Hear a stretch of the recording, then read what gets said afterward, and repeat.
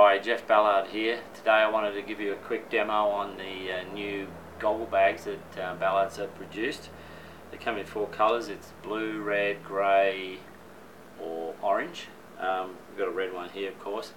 Um, so, you know, the main reason that you're going to want a goggle bag is because you've you know you're into racing or you just uh, got a fair few goggles and you want to try and protect them from just being dumped in your gear bag and thrown around and scratched and all that sort of stuff.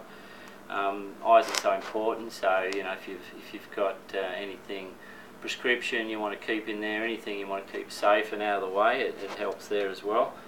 So the main uh, feature of this bag is that it'll hold four goggles, which is quite a few, um, and uh, it's got a, a, pocket system up the top here that's divided into five, so you can fit from the tallest thing like a, uh, a tear off with spare lenses, spare roll off uh, canisters, spare spare lenses, uh, goggle cleaning, you've got the film in there as well.